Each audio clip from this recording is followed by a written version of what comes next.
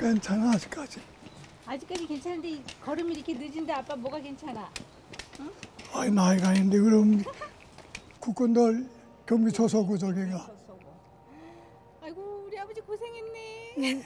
이승철 마을로 돼 있어가지고 이 화장실 이 그리고 이거 이, 이게 똥통이야.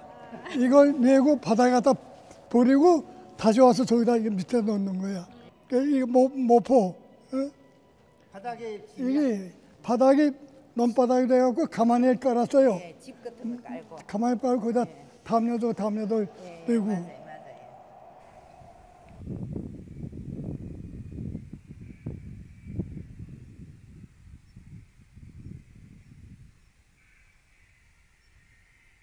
어, 고향성이 많이 나죠 지금. 뭐 아마 지금 나이가 제가 그 내리만 90대는데 고향성이 많이 나죠. 그 몇감으로 댕기던 일, 뭐 애들과 그 남산에 가, 가서 놀던 얘기, 거위 잡던 일, 개를 거위라고 그러요. 거위 잡던 일, 뭐 그런 생각이 나는 거죠.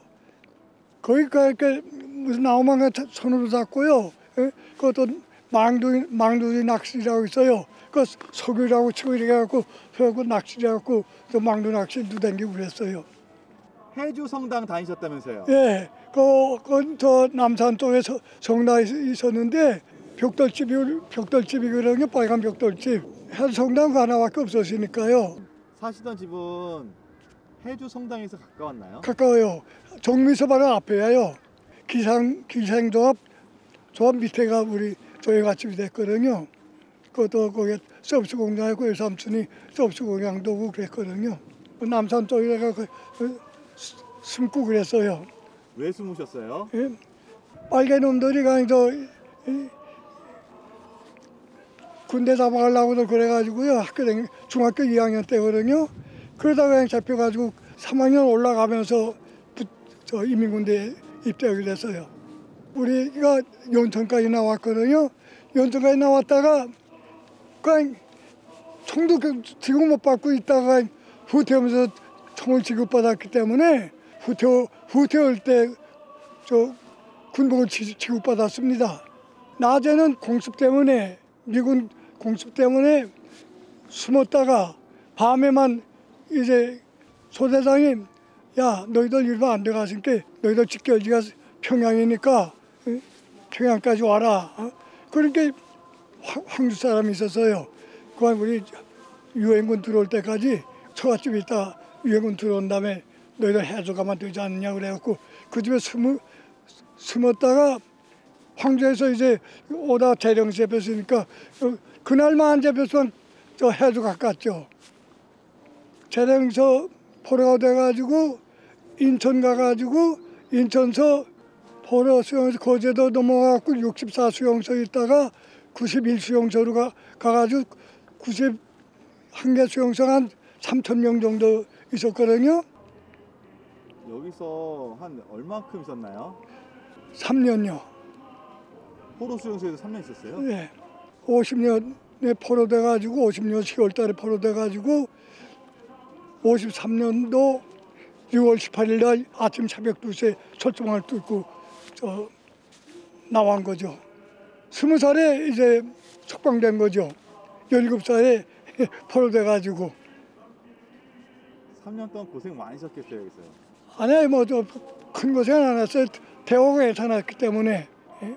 교회도 댕기고요. 또 가까이 저 우- 어리기 때문에 그뭐 영어 교육들도 뭐 좀 시키고 이러, 이랬거든요. 수용소 안에서도 북쪽에서 그땐 저 축구 좀 했는데요. 수용소에서 배구를 조금 배워가지고 어? 그래가 우선 시- 힘들지 않고 군대 생활했습니다. 3년간. 저 미군들이 농구볼도 주고 배구, 배구볼도 주고 그래가지고 수용소에서 가, 저 운동신경이 좀 있었어요. 그래갖고 부대에서 차출돼가지고 배구 선수 12사 대표로 배구 선수 했습니다. 거기서 뭐 이런 교육도 받았네. 그, 그, 아니라, 그 연구 활동. 저런 기술 있는 사람도 있었나 봐. 방공, 음, 뭐 이제 이 운동도 이렇게 해갖고 아버지 아까 이거 말씀 이거 뭐 철봉해갖고 어? 영원해. 어, 이 권도 이렇게 이렇게 권도 이렇게 했다고 나도 이렇게 해- 해봤어.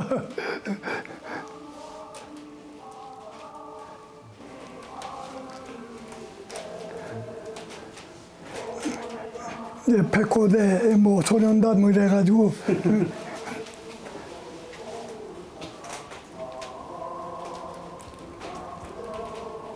미군들 조- 줘가지고 수영장에서 이렇게 했다고. 밥은 넉넉하게 줬다는 거잖아요. 밥은 넉넉하게 줬다는 거잖아요. 그 후- 후- 후라이팬에다 이제 받, 받는 거죠. 배식을 받는 거예요. 줄 서가지고. 밥을 많이 줬어? 밥을 많이 줬어? 아, 괜찮아요. 밥, 밥은 뭐, 저, 무에다, 어, 저, 뭐다, 저, 시레이션, 어? 그거 끓여가지고, 어? 그래갖고 국 주고 그래서. 국에다 밥 이렇게 어. 줬어? 어르신이 포로 생활 하셨다고요? 와 건강하시네요.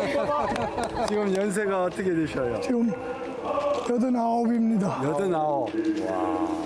석방 될 때 몇 세나 드셨어요? 석방할 때 저 스무 살이에요. 열일곱, 열일곱 살에 붙잡혔으니까. 그럼 의용군으로 끌려가서 아니, 자원에서 가신 거예요? 예? 자원에서 가셨던 거 아니죠. 붙잡혀 학교에 갖다 붙잡혀 갖고 간 거지. 아니죠. 의용군으로 끌려갔죠. 그럼 나이가 그때도 군대 갈 나이 안 되고 열일곱 열일곱 대 잡혀갖고 스무 살에 이승만 대통령이 잘라갖고 나온 거죠. 그렇지. 여기 고, 저 마산서 철도망 뚫고서 나온 거요. 저 이, 이, 이, 이승만 대통령이 가, 저 지시해가지고 군인들이. 새벽 2시에 철도망 뚫고서 성공 포로. 어, 6월 18일 날 굉장히 건강하시고 오래 사셔야겠어요.